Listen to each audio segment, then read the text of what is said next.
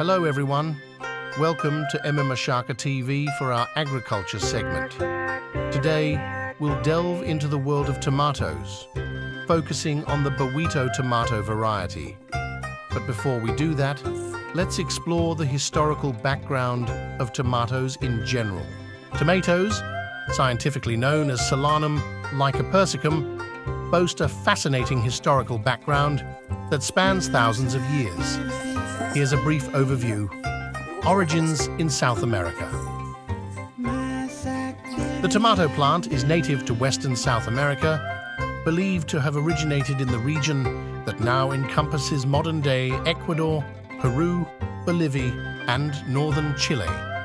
Archaeological evidence suggests that tomatoes were cultivated by indigenous peoples as early as 500 BCE.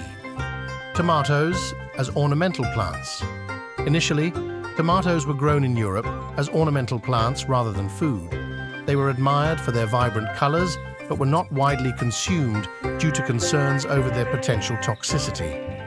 Gradual acceptance as food. Over time, tomatoes gradually gained acceptance as a food crop in Europe. Italy played a significant role in this process, with tomatoes becoming a staple ingredient in Italian cuisine.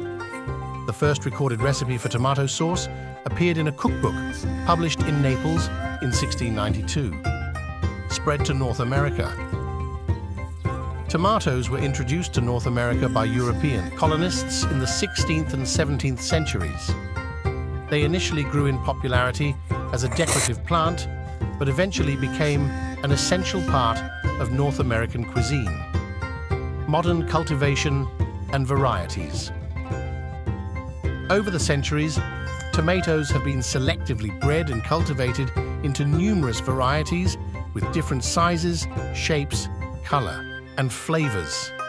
Today, tomatoes are grown worldwide and are one of the most widely consumed vegetables, technically fruits, globally health and culinary significance.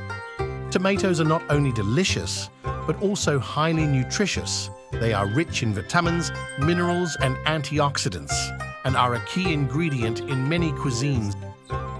We extend our gratitude to everyone who joined us for this introduction to the background of tomatoes.